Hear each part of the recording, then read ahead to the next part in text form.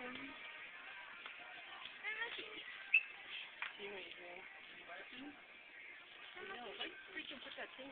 I'm not putting it on you. I'm putting it on Adrian. Let me see this.